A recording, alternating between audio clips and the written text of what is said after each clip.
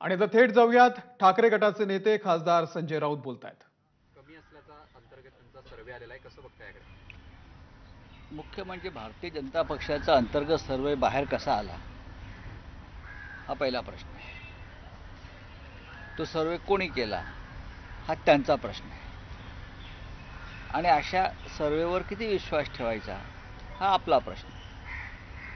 पण कोणत्याही सर्वेशिवाय मी सांगू शकतो किंवा महाराष्ट्राची देशाची जनता सांगू शकेल.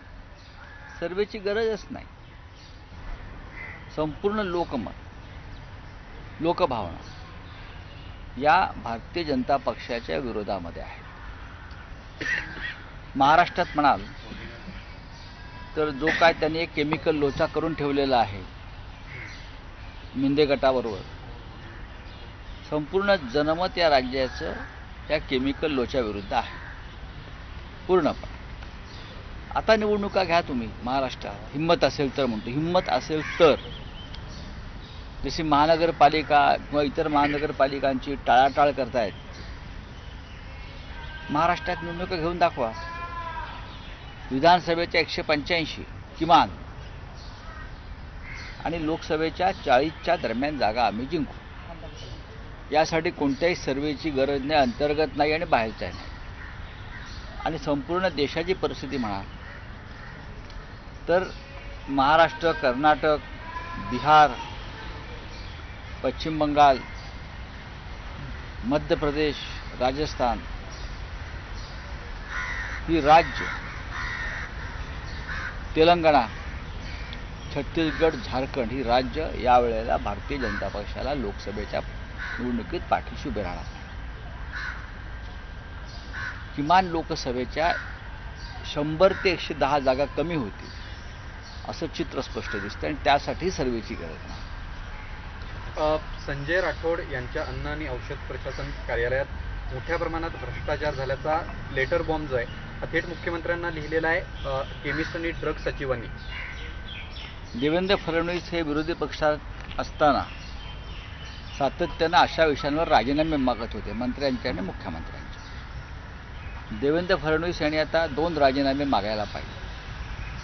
जर त्यांच्यातला त्यांच्यातली माणुसकी मानवता आणि आत्मा जिवंत असेल तर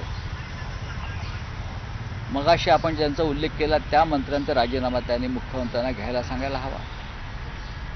आणि खारघर येथे डॉक्टर अप्पासाहेब धर्माधिकारी यांना महाराष्ट्र भूषण देताना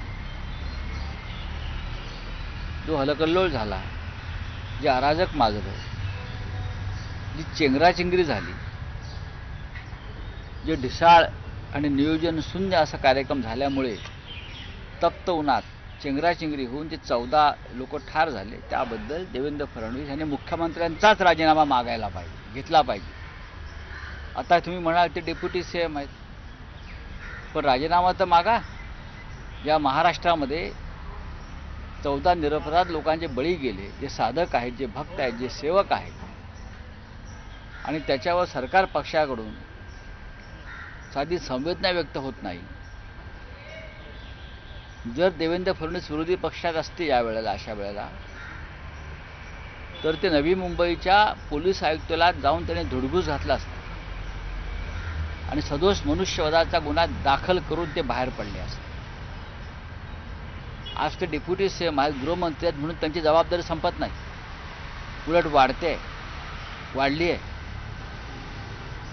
म्हणून माझं त्यांना आव्हान आहे की मंत्री संजय राठोड यांचा भ्रष्टाचार त्यांच्याच अधिकाऱ्यांनी समोर आणलेला आहे.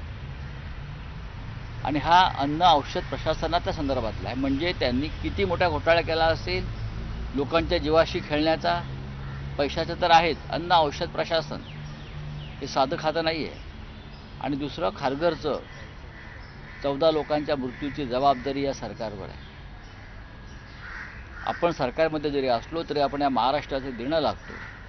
म्हणून देवेंद्र फडणवीस यांनी त्यांच्या जुन्या फडणवीसांना जागवून राजीनामा मागायला पाहिजे. असं असं सगळ्यांचं म्हणणं आहे की ज्या पद्धतीचे व्हिडिओ आता समोर येत आहेत सुरुवातीपासून मुख्यमंत्री शिंदे हे आकडेवारी लपवत आहेत आणि त्यांचे पोलीस अधिकारी आणि प्रशासनावर दबाव आहे की खरा आकडा सांगू नका. ज्या दिवशी दुर्घटना घडली त्या दिवशी हे चौदा लोकांचा मृत्यू झाला होता आणि हा आकडा वीसच्या वर आहे असं तिकडे स्थानिक लोक सांगत होते. पण दे पण देव एकनाथ शिंदे याने पोलीस अधिकारी आरोग्य अधिकारी व इतर सगळ्या यंत्रणांना त्यांचे आदेश होते की सहा किंवा सातच लोक मरण पावले हेच सांगायचं. पण ज्यांच्या घरामध्ये ही दुर्घटना घडली आहे जे मृत्यू घडले आहे ते आकडे ते आता हळूहळू समोर यायला लागला आहे हा आकडा आज चौदापर्यंत गेला आहे पण तिथे जे प्रत्यक्षदर्शी होते नंतर जे व्हिडिओ समोर आले जी चेंगराचेंगरी दिसते आहे त्याच्यानुसार हा आकडा वीसच्या वर गेला असावा अशी भीती व्यक्त केली जाते.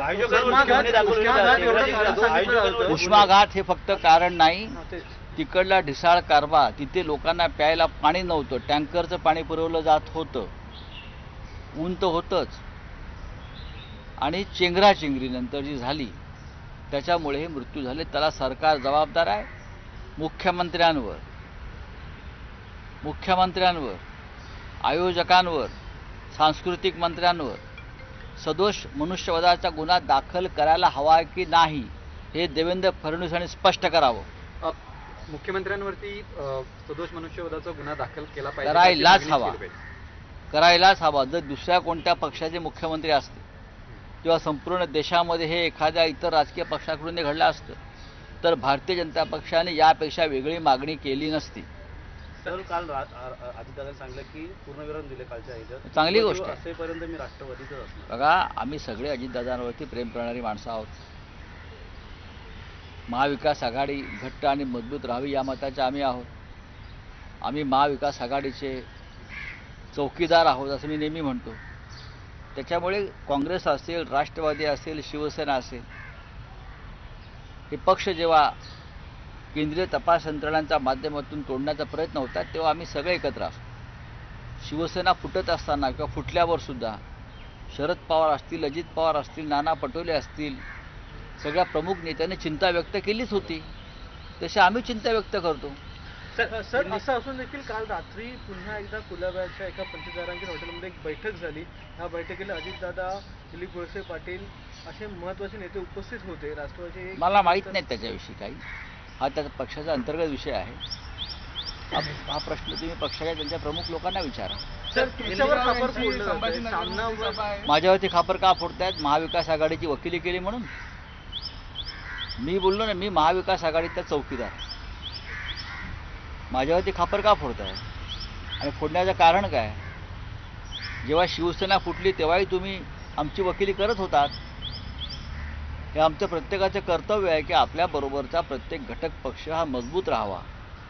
आणि त्याचे लसके तुटले जाऊ नयेत. ही जर आमची भूमिका असेल आणि जर कोणी त्यासाठी आमच्यावर खापर फोडत असेल तर जरा गंमत आहे. सर में जाना केसीराव यांची संभाजीनगरमध्ये चोवीस एप्रिलला सभा आहे. मात्र अद्यापही त्यांना परवानगी मला भेटलेली नाही. त्याच्याविषयी. सर हिंदी में जाना चाहेंगे. बीजेपी आज कह रही कि उन्हें एनसीपी को तोड़ने की ज़रूरत नहीं लेकिन क्या शिवसेना के सामना मुखपत्र रोकटो के रविवार के आर्टिकल की वजह से बीजेपी को एनसीपी का लोटस ऑपरेशन होल्ड पे डालना पड़ा? बैकफुट पर गए हैं बीजेपी। उनका जो नकाब था वो हमने उतार दिया। जिस तरह से इस देश की अपोजिशन की जो पार्टीज़ है ये तोड़ने के लिए जिस तरह से केंद्रीय जाँच एजेंसी का इस्तेमाल किया जा रहा है सबसे ज़्यादा इस्तेमाल बंगाल पश्चिम बंगाल महाराष्ट्र और बिहार में हो रहा है। आपने देखा होगा। तो मुझे लगता है हम सब लोग ये षड्यंत्र के खिलाफ लड़ने के लिए तैयार हैं और डट के लड़ेंगे। सर आपको व्यक्तिगत तौर पे टारगेट किया गया है अजीत दादा पवार की तरफ़ से क्योंकि आपने सच कहा था उस पर आप क्या जवाब देंगे? अगर मैंने सच कहा है इसलिए मुझे कोई टारगेट करता है तो मैं मानता हूँ कि मैं सच बोलता रहूँगा और सच कहता रहूँगा और मुझे किसी ने टारगेट किया है इसके लिए मैं पीछे हटने वाला आदमी नहीं हूँ। मैं हमेशा सच ही बोलता हूँ। मैं किसी के बाप को डरता नहीं। ठीक है सर इसका अर्थ ये है कि आपने सामना में जो जो लिखा था वो एक एक शब्द सही था अबाउट प्रेशर के एनसीपी के विधायकों पर दबाव। आज ह- ज़रूर सामना हमेशा सच लिखता और बोलता है। इसमें छुपाने की क्या बात है? आप जाकर पूछिए, हसन मुस्ती साहब को उनके ऊपर प्रेशर है क्या नहीं? आप जाकर पूछे अनिल देशमुख जी को उनके ऊपर प्रेशर है क्या नहीं? आप जाकर पूछे जितेंद्र आवाड़ जी को उनके ऊपर प्रेशर है क्या नहीं? और कितने नाम चाहिए आपको? मुझे बताइए, आप जाइए प्रफुल्ल पटेल जी के यहाँ और उनको पूछे कि आपके ऊपर प्रेशर है या नहीं। जिस तरह से जाँच एजेंसी सेंट्रल प्रेशर बनाकर फिर बीजेपी ऑपरेशन कर रही है उसके ऊपर अगर हमारे जैसे लोग बोलते हैं तो ज़रूर बीजेपी को गुस्सा होना चाहिए। और किसी को गुस्सा होने की ज़रूरत नहीं है। लेकिन सर अजीत दादा अपने बयानों से आप पर सवाल खड़े कर आपकी विश्वसनीयता पर सवाल खड़े कर वो क्या वो क्या कर सकते हैं मेरी विश्व पवार साहब खड़े कर सकते हैं। शरद पवार साहब की बात मैं मानूँगा। सर जिस तरह से सर एक सवाल ये है कि कल अजीत दादा ने जो सफ़ाई दी उसमें कहा कि जो मुखपत्र में आप लिखे उनको अपनी पार्टी के बारे में लिखना क्या लिखे पार्टी में हैं आपको मालूम है मैंने क्या लिखा है? उनका कहना है कि क्या लिखा है? आपने ये कहा था कि इस तरह के ऑपरेशन होने वाले हैं और उसमें गलत क्या है? ये क्या किसी किसी पार्टी के बारे में मैंने कहा कि महाराष्ट्र में अपोजिशन को तोड़ने की कोशिश हो रही है। ये सच है या झूठ है? ये अजीत दादा ने बताना चाहिए। क्या शिवसेना को नहीं तोड़ा? क्या एनसीपी के ऊपर हमले नहीं हो रहे? ये शरद पवार साहब खुद बोल रहे हैं उनके प्रमुख। इस प्रकार का एक पत्र शरद पवार साहब ने अमित शाह जी और मोदी जी को लिखा है। क्या मालूम नहीं किसी को? अगर इस बात इस बातों की जानकारी मैं रखता हूँ तो उसमें गलत क्या है? हाँ सर अजीत दादा ने कल जिस तरह से कहा कि हम हम अपने पक्ष का पक्ष की बातें रखने के लिए सक्षम है। किसी को हमारी वकालत करने की ज़रूरत नहीं है। तो किसने की वकालत? वो कह रहे आपने लिखा और हाँ, मैंने लिखा है। लिखा और ज़रूर मैंने और लिखते रहूँगा बोलता रहूँगा मैं काम करता रहूँगा। क्या लिखा है मैंने गलत? अगर ये सच लिखा है किसी को अंदर एक धारदार जो हमारा सच है टोकदार वो किसी को चुपता है तो मैं क्या करूँ? सर एक और चीज़ है उद्धव जी की सभा एक और तेईस तारीख होने वाली है। कहा यह भी जा रहा है कि अब उद्धव जी नेतृत्व करें महाविकास आघाड़ी का। ये बात अजीत पवार को सहन नहीं हो रही इसीलिए वो ऐसे नहीं है हैं। महाविकास आघाड़ी की लीडरशिप ये सामुदायिक लीडरशिप है और उद्धव जी ये सीनियर नेता है शिवसेना के चीफ है और महाराष्ट्र में और देश की राजनीति में शिवसेना प्रमुख का जो पद और प्रतिष्ठा है वो सबसे ऊपर है। सर सर मंत्रालयातील फायली उंदराने कुरतडलेल्या होता. पुलवामाचा. सर. सर.